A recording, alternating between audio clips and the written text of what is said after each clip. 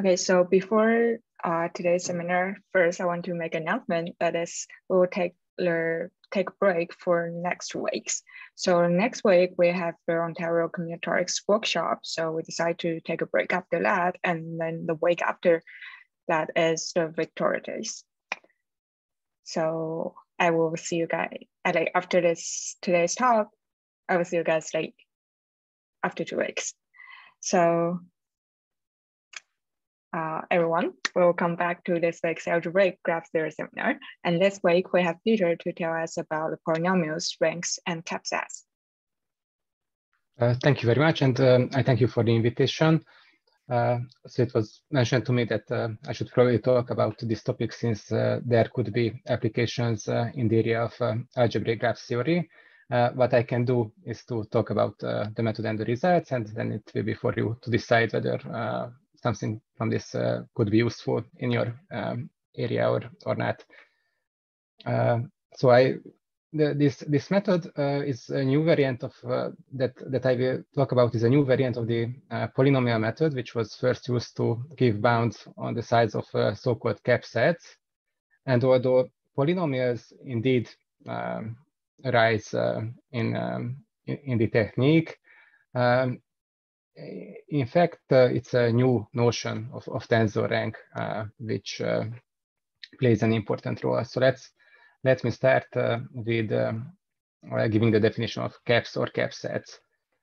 so a cap is a set, um, some geometry in which we cannot find three collinear points. Uh, for instance, um, it can look like this if we intersect uh, such a set by a line, then there can be at most um, two intersections. But uh, we will be interested in the finite uh, setting, um, especially uh, in the case when uh, we would like to give upper bounds on the size of caps in, in f3 to the n. why f3 to the n? Um, because here, in this case, the property that uh, there are no three points on one line uh, has many nice reformulations. Uh, in fact, here, each affine line contains exactly three points.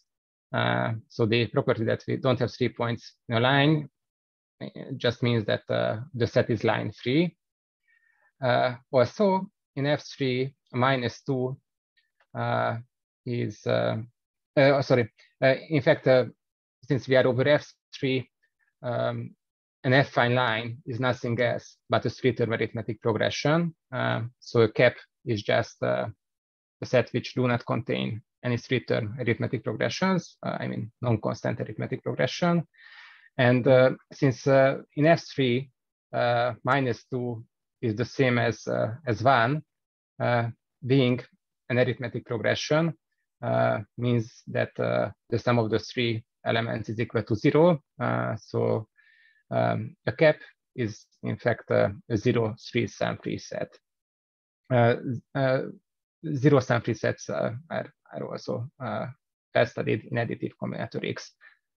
Um, and just to give a final reformulation, if we have a cap, then uh, its complement satisfies that it, it uh, intersects, intersects every line.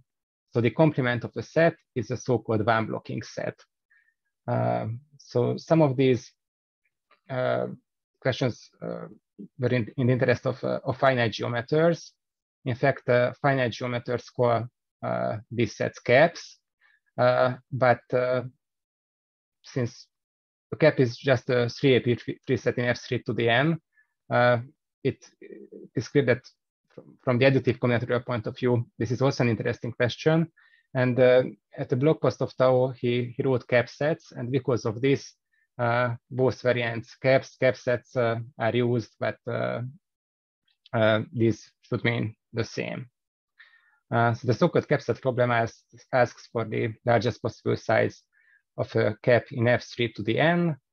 as I had mentioned, it is motivated by finite geometry, uh, for instance, but uh, studying uh, this problem in F3 to the n, that there is no three-term arithmetic progression, is in fact a model case for bounding the possible size of subsets of say 1 to n, uh, avoiding three-term arithmetic progressions. Uh, if a certain method works in F3 to the n, then it might be the case uh, that it also works in the int integer setting. There is no guarantee, uh, but uh, uh, in case of some of the models, um, it might be easier to, to work out the details in F3 to the n, um, and then move it to the integer setting. there are some connections with the matrix multiplication, uh, and it was uh, expected that the solution of, of this problem uh, might lead to the solution of, of other related questions. I just briefly mentioned the some, some results from the integer setting. so it started with the result of Roth, who proved that uh, if a subset of the first and positive integers avoids three-term arithmetic progressions, then it uh, has zero density. Uh, he gave this quantitative bound.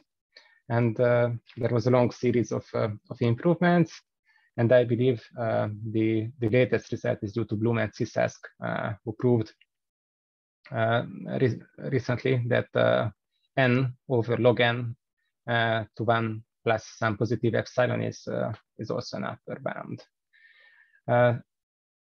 studying the the integer variant uh, is equivalent with uh, studying the problem in uh, uh a cyclic group. Uh, of course, instead of the cyclic group, uh, the pro problem of bounding three-term arithmetic progression-free sets, bounding the size of three-term arithmetic progression-free sets, um, can be formulated in, in any abelian group.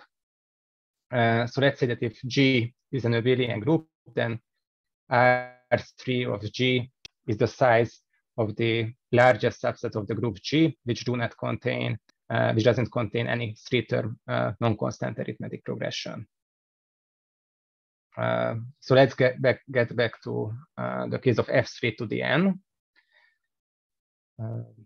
It is already non-trivial that uh, R3 F3 to the N is, is little low of the size of the group. then Meshulam gave the first quantitative bound by proving that uh, 3 to the n divided by n is, uh, is also an upper bound. Uh, here in this result, what we have is uh, the size of the group divided by the logarithm of the size of, of the group.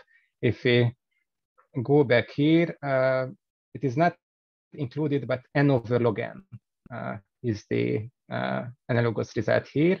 And uh, the analog of uh, the Bloom-Sisask result um, is uh, the result of Bateman and Katz uh, from 2012, who proved that here uh, in the exponent of n, we can write number which is slightly larger than, than one. Um, so, so these were the, the best uh, upper bounds before um, this this, this result that, that I will talk about, but let me also mention the, the lower bounds. If uh, we look at the one-dimensional case, and if you pick any two elements, then of course uh, they form a set which uh, doesn't contain three-term arithmetic progression.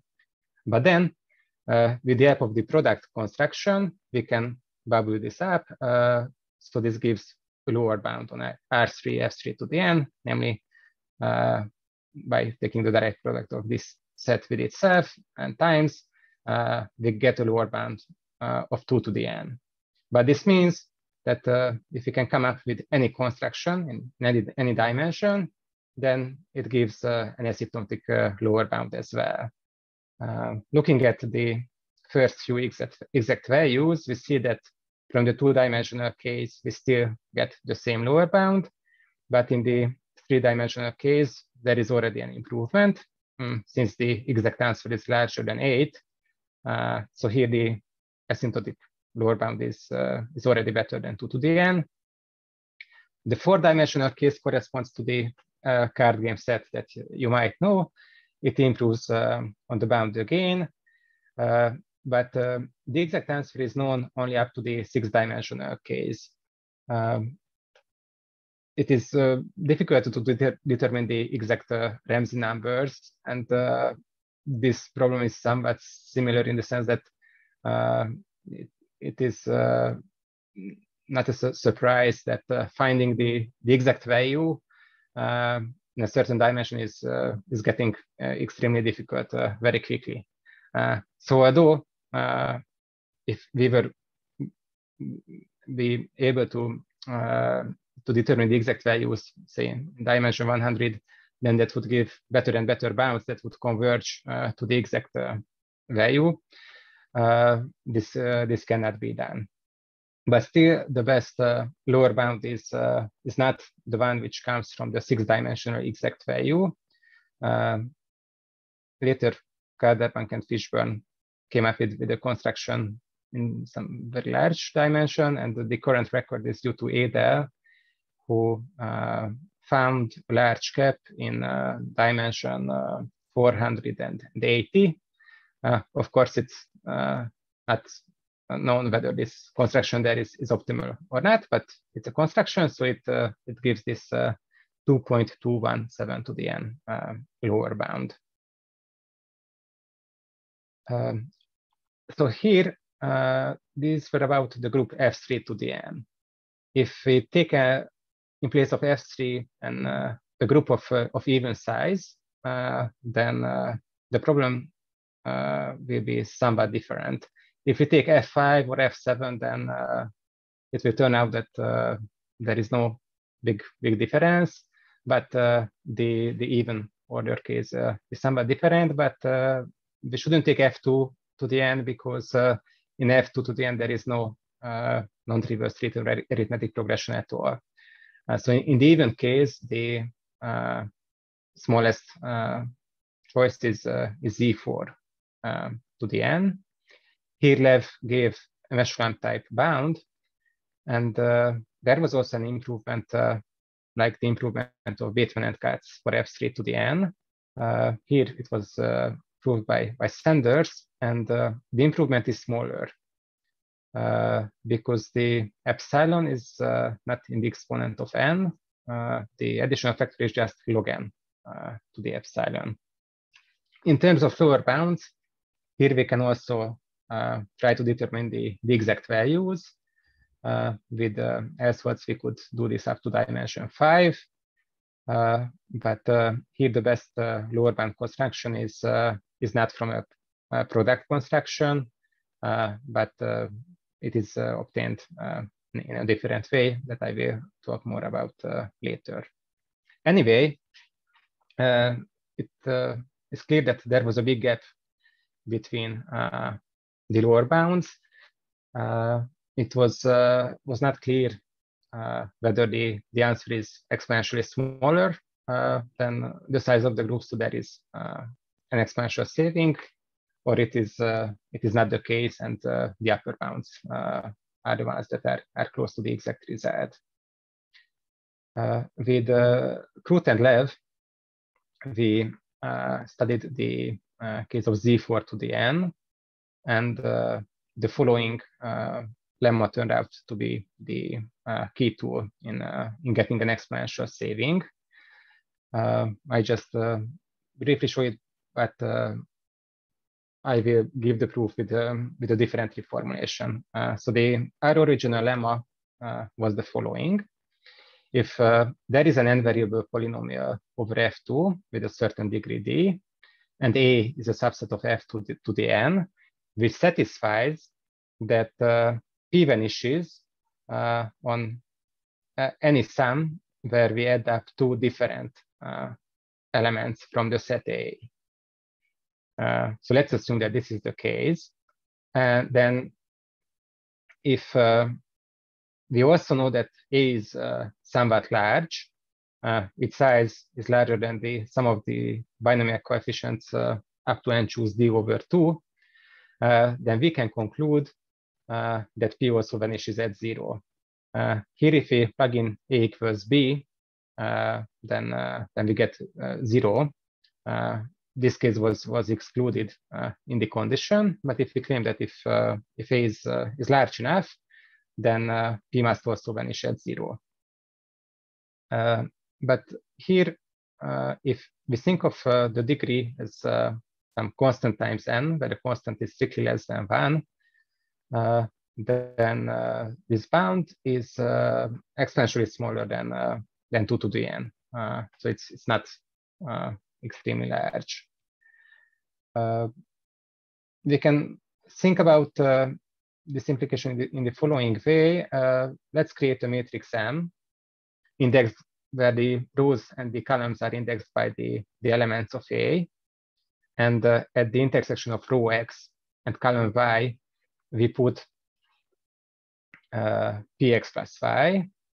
Uh, then it can be proved that uh, if uh, P has a small degree, in some sense, then the matrix has more rank.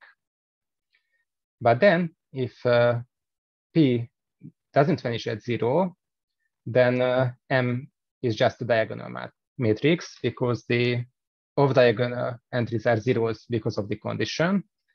And uh, if uh, P doesn't vanish at zero, then the, the diagonal entries are, different from zero. In fact, they are all equal to one. Uh, so in this case, uh, the rank of M is small. the rank of M is, uh, is equal to the size of A, uh, since we have a diagonal matrix in which all the diagonal entries are, uh, are non-zero elements. But these two together mean that if A is large enough, then from the condition, it, it must follow that PA vanishes at zero. With the help of this lemma, uh, we could prove a result uh, an exponential saving uh, in case of z4 to the n. And after less than a week, uh, Ellenberg and Gijswijt um, managed to adopt uh, the method to the uh, setting of, of F3 to the n as well. Uh, so in both cases, uh, there is an ex uh, there is an exponential saving, and in fact, this implies that if you take zm with m being at least three, then there is also an exponential saving. So there is a slight difference between the odd and and even cases, uh, but uh, uh, proving it for values different from three and four uh, can be can be done uh, in the same way. Uh, so the original proof used this lemma in the setting of f3 to the n. there is a clear, clear reformulation of of of this lemma. then, but the problem the the method has two uh, other formulations. Uh, one reformulation can be given uh, with the help of group rings. This was given by, by Petrov. And the third formulation is with the help of the so-called slice rank. Um, this was given by, by Tao. And depending on the actual problem, uh, uh, it can happen that one formulation is uh, is better to use than than the other one. Uh, here I will uh, choose uh, the, the symmetric formulation given by, by Tao, which is now called the, the slice rank method. this is definitely the one which is the easiest to explain and uh, easiest to apply when it is uh, applicable uh, in an easy way. so, so let's continue with the, the slice rank method. So first, uh, we will define the uh, slice rank of, uh, of tensors, which will be different from the, the usual tensor rank. Let's assume that S1, S2, Sk are finite sets. Uh, they don't need to be the same set. And uh, F uh, is a field. It can be finite or infinite, it, it doesn't matter. Then to define rank, but what we can do is to define the rank one functions. First, uh, the rank one functions will be called slices in this case. And we say that uh, such an f is a slice if we can express it uh, as a product of two functions, uh, f and g, where f depends only on, uh, on one variable. It can be x1, s2, xk, and uh, G depends on only on the other k minus one variables. So these are the slices, the rank one functions. Uh, and then the slice rank of an arbitrary f is the smallest t such that we can express f as a sum of, of t slices.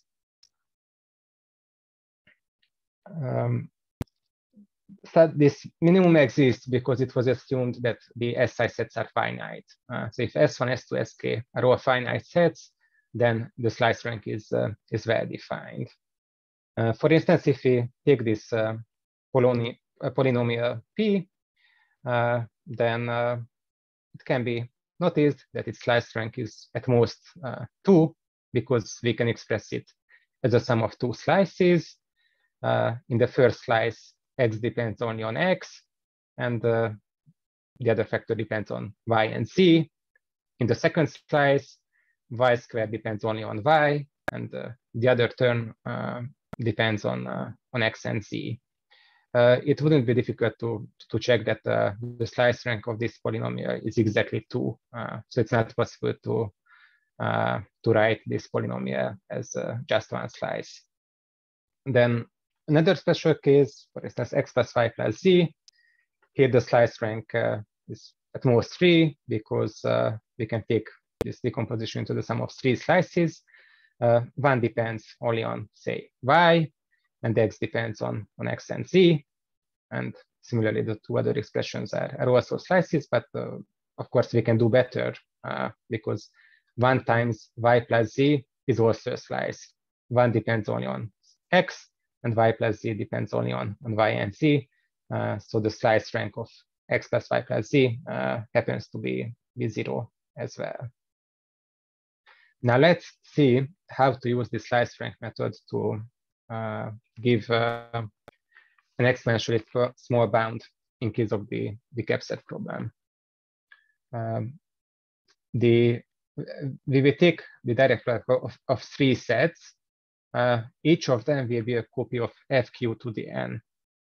Uh, here we could take q to be 3, but if we take q to be any other uh, odd prime power, then the proof is exactly the same. Uh, there is no difference at all. Uh, so let's formulate in, this more general way. And uh, the field with which we work is, is fq. And f will be the characteristic function of uh, three-term arithmetic progressions. Uh, so if we uh, take an arithmetic progression x, y, z, then uh, f should be equal to 1. Otherwise, it should be 0. Uh, I use the, this Kronecker delta notion uh, to, to denote this. And this f can be expressed as a polynomial like this since uh, if we take an arithmetic progression, then in each uh, and each uh, entry, we see that uh, the sum of xi and zi should be the same as 2yi. Uh, uh, Eh, so we, it, we subtract eh, 0 from 1, and the product of 1s is indeed a 1. Eh, however, if x, y, and z do not form an arithmetic progression in, in this order, uh, then uh, for some i, uh, this expression here will be different from zero. And if we raise a non-zero power to the non-zero value to the q minus first power, then we get a one. Uh, so there will be a zero among the n factors, and and we get a zero. specifically, if we plug in the same number three times, uh, it is also counted uh, as an arithmetic progression. Now, if we take a subset of fq to the n which avoids non-trivial arithmetic progressions, uh, then we claim the following. Uh, first of all, we claim that the size of the set is the same as the slice rank of f restricted uh, to a times a times a. Uh, this restricted version of f is, uh, is a diagonal tensor. Uh, it is everywhere zero except the diagonal where we have uh, a, a, a, so the same, uh, same element three times. In, in the two-dimensional case with the usual rank of, of matrices, it's perfectly clear that uh, the rank of a diagonal matrix uh, is uh, equal to the number of non-zero elements on the main diagonal. And um, lemma, one, lemma one, one says that uh, the same also holds uh, in, in higher dimensions uh, for, for the slice rank. Uh, so it can be shown that uh, the slice rank of a diagonal uh, hypermatrix is, is also the number of non-zero entries on the diagonal. this is not straightforward at all, but with the of an inductive proof playing with orthogonality, it, it, it can be be justified. Uh, so now we know that uh, to bound the size of A, it suffices to bound the slice rank of F restricted uh, to the, the product A times A times A. But uh, it is clearly uh, at most the, the slice rank of F uh, without being restricted at all. so the this inequality is, is clear. And then finally, we, we bound the slice rank of F. And uh, with the help of the following observation, uh, a bound which is exponentially smaller than q to the n uh, can be, be given. Uh, so let's take a look at, uh, at F. It is a product of uh, n factors. Each factor has degree q minus 1. let's expand the brackets, then there will be lot of uh, terms. Uh, each term is a product of certain uh,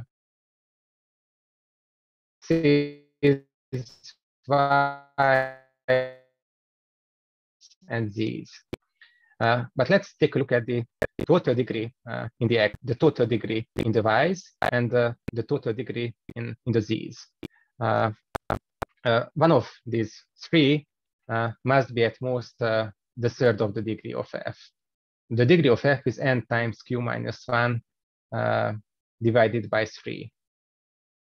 and what we are doing is, is the following. We list uh, all the uh, polynomials of uh, monomials of x1, x2, xn, where the total degree is at most n times q minus 1 divided by 3.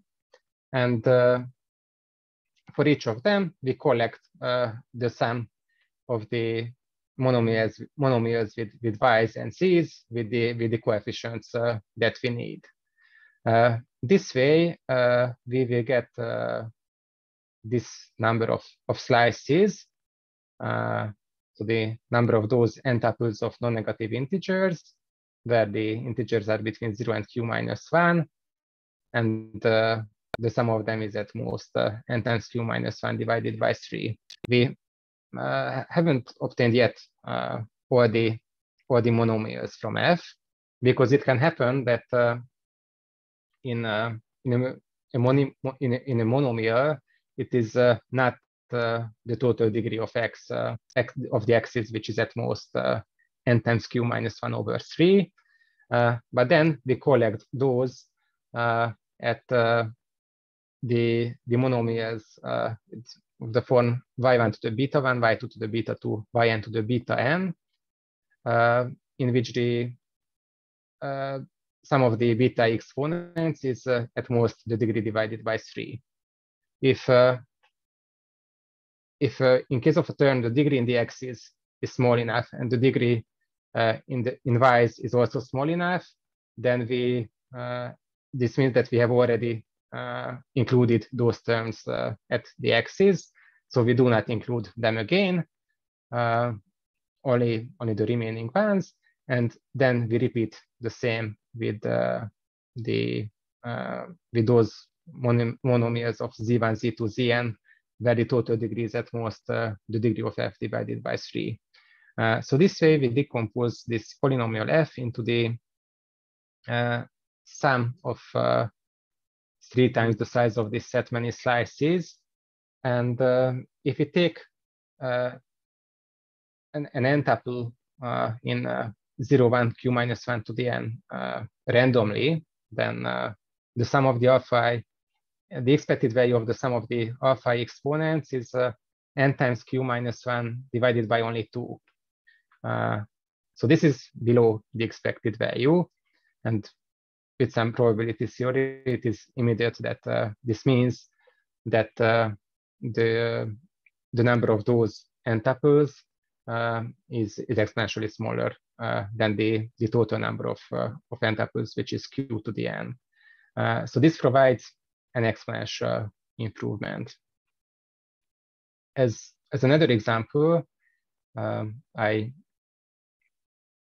I, I, sketched a proof uh, for, uh, for binding the signs of uh, sunflower free sets.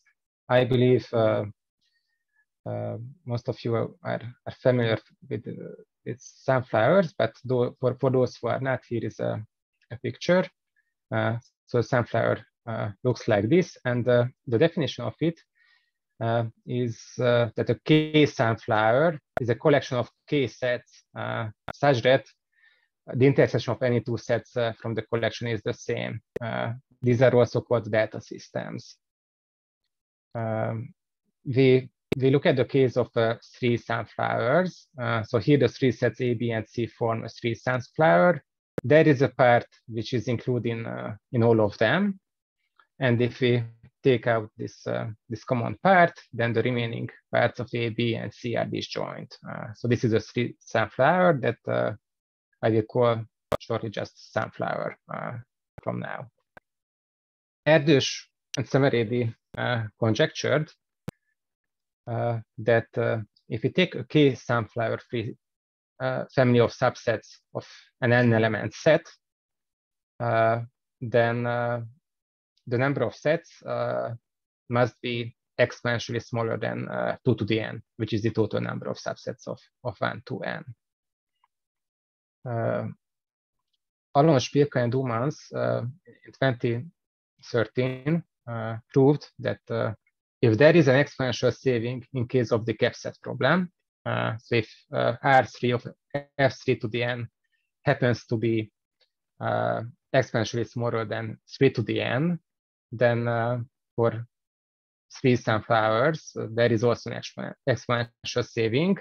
And uh, if we plug in the bound 2.756 uh, into their argument, then it gives uh, the bound uh, 1.94 to the end in case of the sunflower, sunflower free problem. so in some sense, when the CAPSET result was proved, it already implied uh, that uh, the Erdős-Szemerédi sunflower conjecture holds uh, for three sunflowers. Uh, however, it is possible to, to get a better bound if instead of using the result as a black box, uh, we, we use the method itself. Uh, this was proved by Naslund and, and Sawin after the blog post of Tao about the, the slice rank method. Uh, so this gives a better bound. And uh, more recently, uh, uh, further improved on this bound uh, using uh, using again the method. I, I will sketch the proof of uh, of this uh, middle uh, middle bound. so let's take a sunflower-free family. we can think of it as uh, zero one vectors uh, that are the characteristic vectors of the sets appearing in F. Uh, and uh, we define uh, T, the direct product of three copies of zero one to the n by, by this polynomial. So the product of two minus the sum of xi y plus yi plus zi and uh, the field with which we work can be the field of, of the reals, for instance. Uh, so they, we would like this uh, function to be, be diagonal if we have a sunflower-free uh, family, uh, which, uh, which in fact holds. So if, let's go back here. So here, if you have a sunflower like this, then those elements are contained in, in three of the sets. Those elements are contained in one. And if something is outside, then it is not contained in any. So the, they can appear in zero, one, or, or three of the sets. so it's from this, it almost follows that this is a, a diagonal tensor, but that is a minor problem.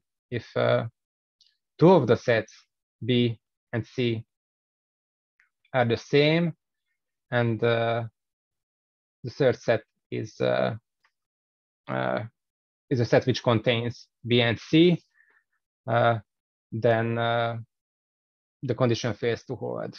But we can avoid this situation if uh, we restrict ourselves to sets having the same Hamming weight. so let's say that SL contains those sets that have Hamming weight L, uh, so we, the sets with uh, the, the vectors with L ones, then if we restrict T to the direct product of SL, SL, and SL, then it indeed holds that uh, that T is non-zero if and only if, uh, if, X, Y, and Z are all the same.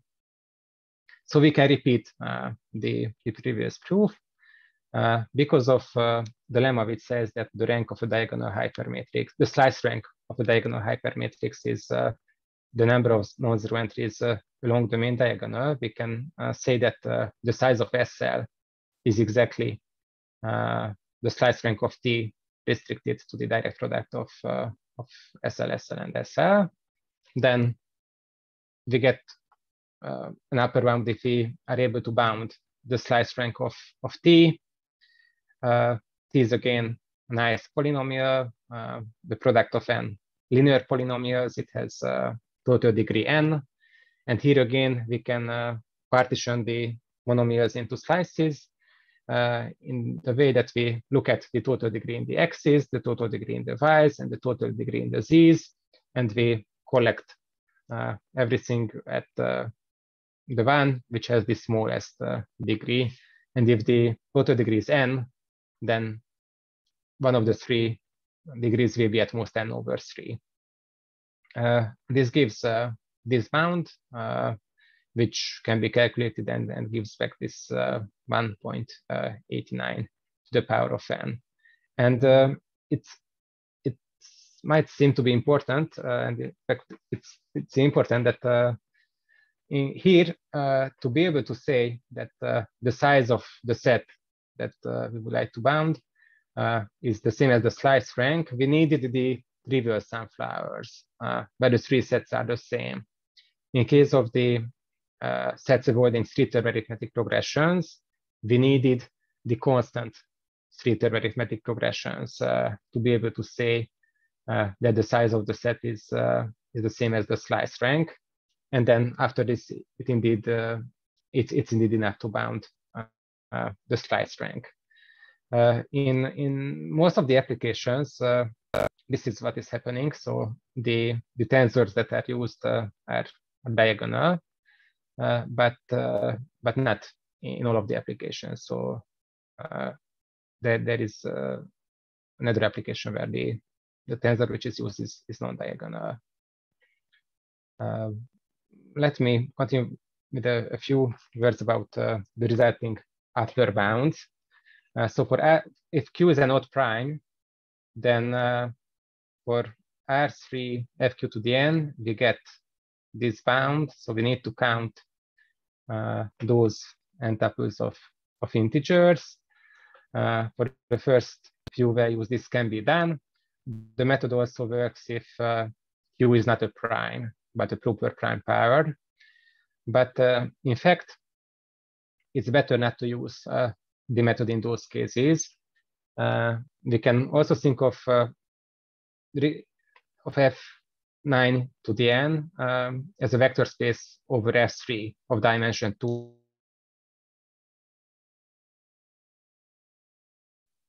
case of F3, then uh, we get uh, a better uh, bound. So although the method is applicable for proper, proper prime powers as well, uh, it's better uh, not to use it because uh, in fact, the problem for proper prime powers uh, is the same as the problem for primes. Uh, for instance, alpha 3 is, is this number, but probably this is not that uh, enlightening. Uh, alpha q in general can be given as the minimum of this function, uh, which uh, is always strictly less than q. Uh, if we look at the problem in zm to the n, then there are some immediate consequences. In fact, it follows immediately that for every m larger than 2, R3 of uh, Zm to the n is exponentially small.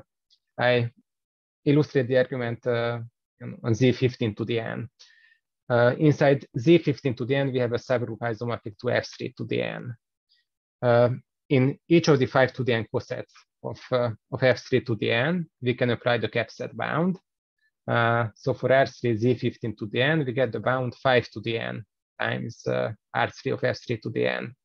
And since there is an exponential saving for F3. There is also an exponential saving for, for Z15. Uh, so this is immediate that uh, all these are exponentially small. If um, m is a, a, prime power like 9, then uh, by this is the trivial uh, implication, uh, applying the bound in each of the cosets of uh, the subgroup f3 to the n.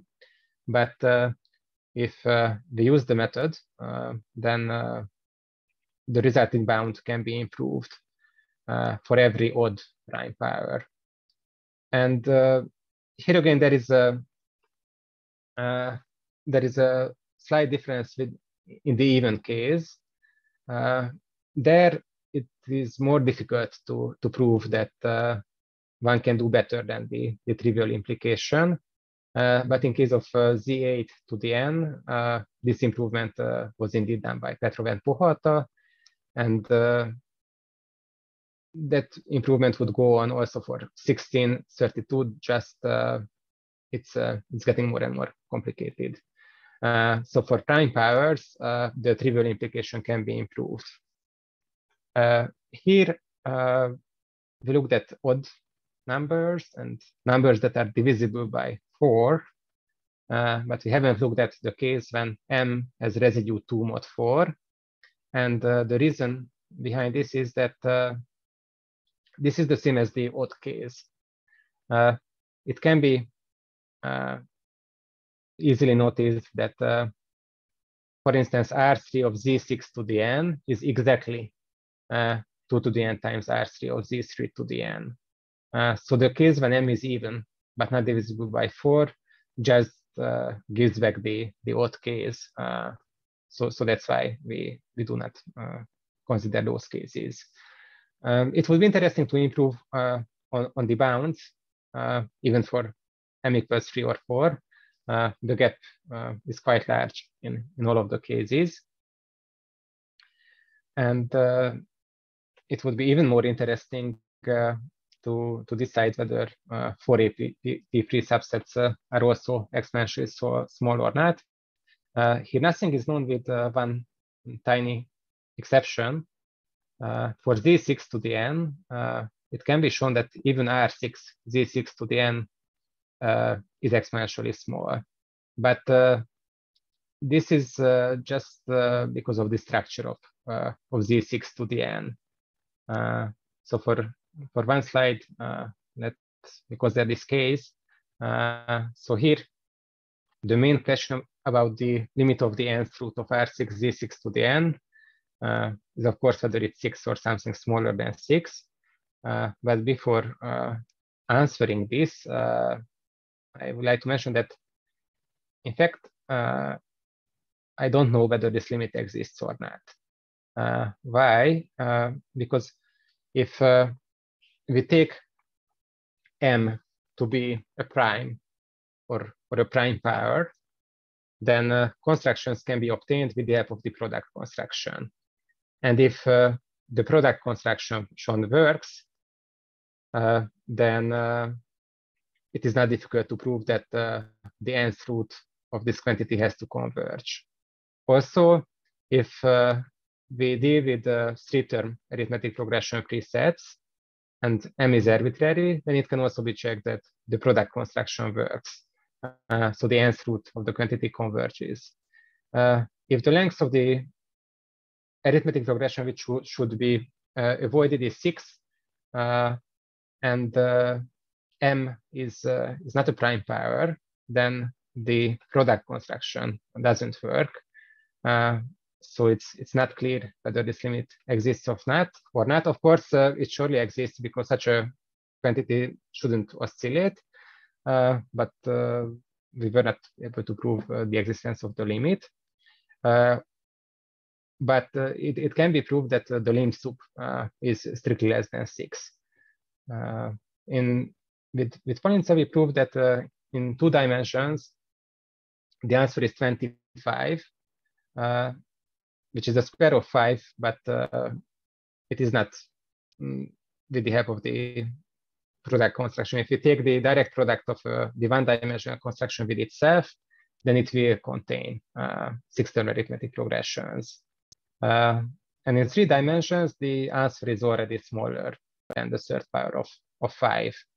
Uh, so it's not even possible to um, modify the definition of uh, the product uh, in such a way that this new product construction works.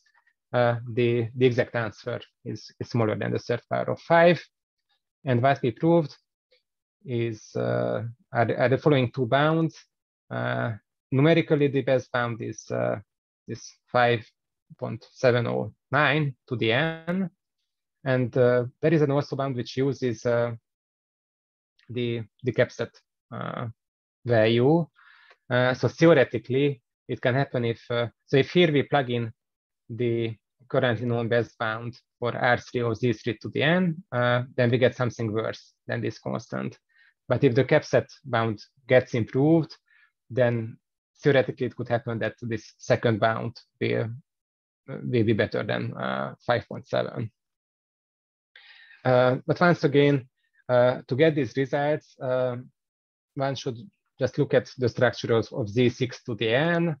The problem reduces to being able to say something about the following.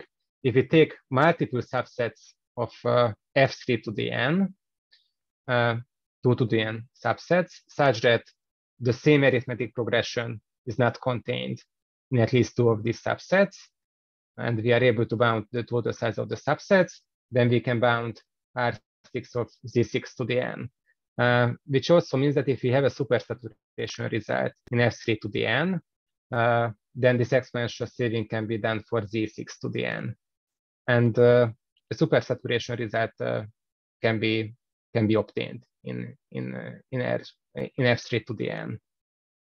From the other side, for R6, Z6 to the N, we, we have only the trivial lower bound. Uh, of course, this implies that if M is divisible by 6, then we still have this exponential saving, but uh, all that is known is that uh, the quantity is exponentially small if uh, k is uh, 3 and m is at least 3. Also exponentially small if m is divisible by 6 and k is at most 6. Uh, but uh, there is no other known case. And interestingly, there is no case in which it is known that the quantity would be not exponentially small. Uh, so it would be very interesting to, to add anything uh, to, to either here or, or there. Uh, let's get back to the case of, of streeter arithmetic progression resets in Z4 to the N. Uh, with S we, we proved the bound of this form. Uh, so here the lower bound is the maximum of a certain sum uh, where we have these binomial coefficients and uh, the and uh, this c i i minus t denotes the largest possible size of a code in f2 uh, to the i with the minimum distance at least uh, i minus t.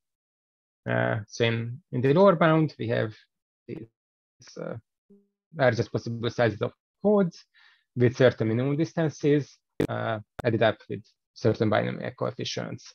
And we choose the optimal t uh, to get the, the best lower bound. Up to dimension five, uh, this gives back uh, the, the optimal value. Uh, in dimension six, we were not able to find the exact value. Uh, so in all the cases where the exact value is known, this, uh, this bound happens to be tight, and the growth rate uh, of it is 3 to the n divided by, by root of n. the best choice for t is around two thirds times n, where already the, the sum of the two first two terms uh, gives uh, something like this. Uh, so for R3 Z4 to the n, uh, the, the best uh, known lower bound is 3 to the n divided by, by root of n. Uh, here the problem can be reformulated to a problem about subsets of f2 to the n in the following way.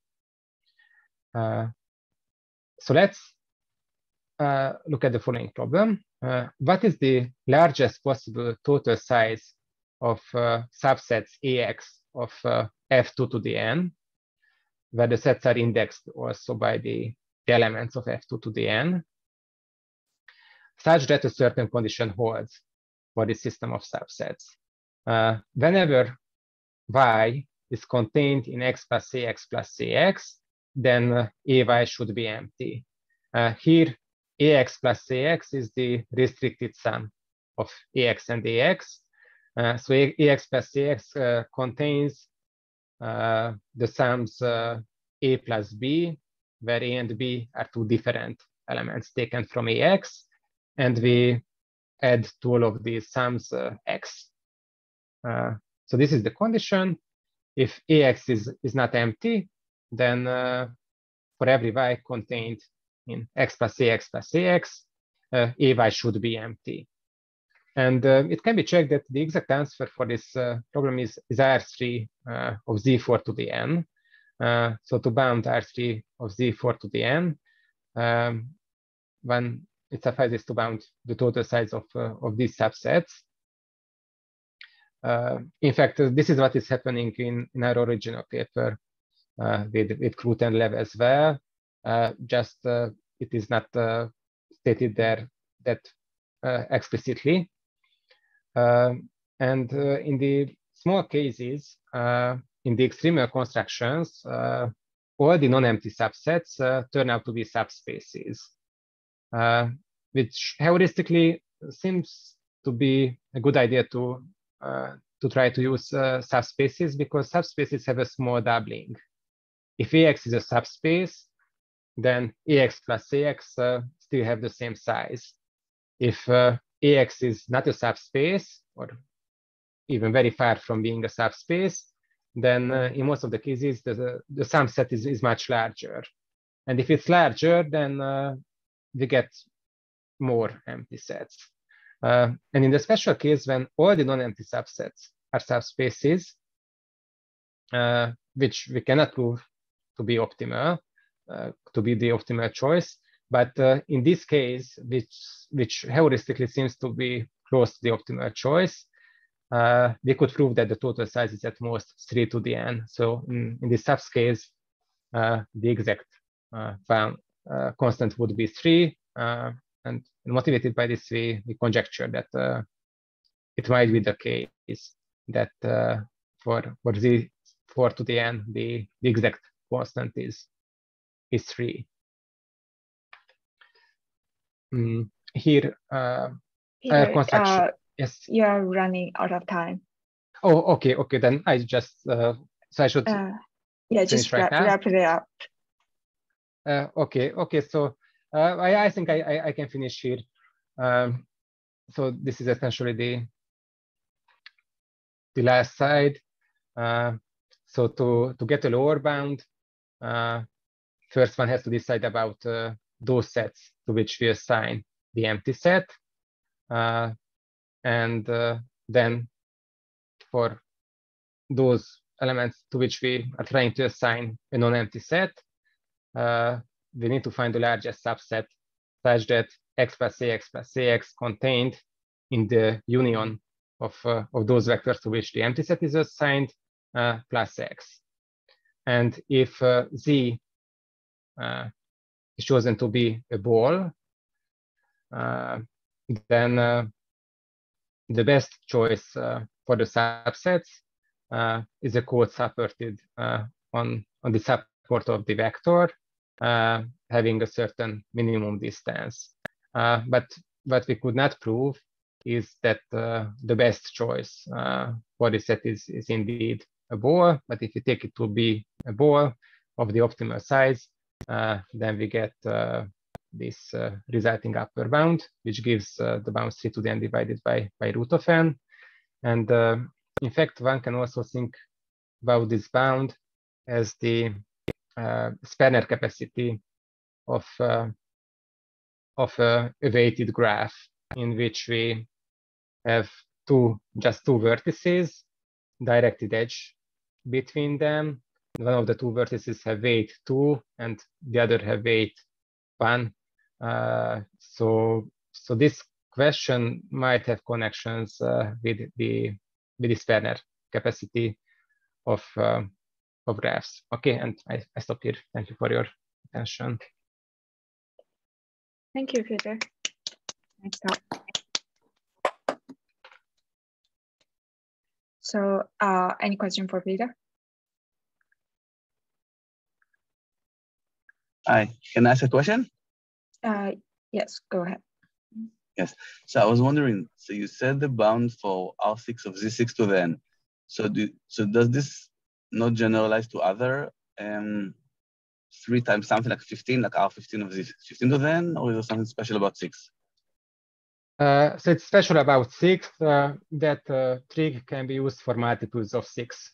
Uh, so if m is divisible by six and the length of the arithmetic progression is uh, at most six, uh, then uh, an exponential saving is, is obtained. Uh, otherwise, uh, it is not obtained. so except the case of z6 to the n, to get an exponential improvement, one has to do it for a prime or for a prime power. Thank you. Thank you for the question. Uh, any other question for Peter?